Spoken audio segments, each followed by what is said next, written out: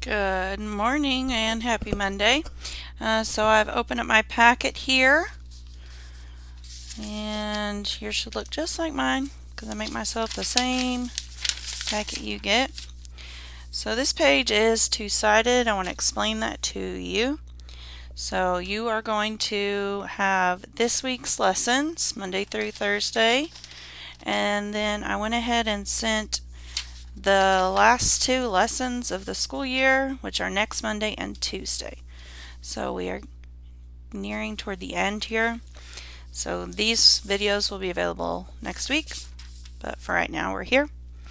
Today is Monday, May the 11th. I hope you enjoyed Mother's Day yesterday and made your mom feel special.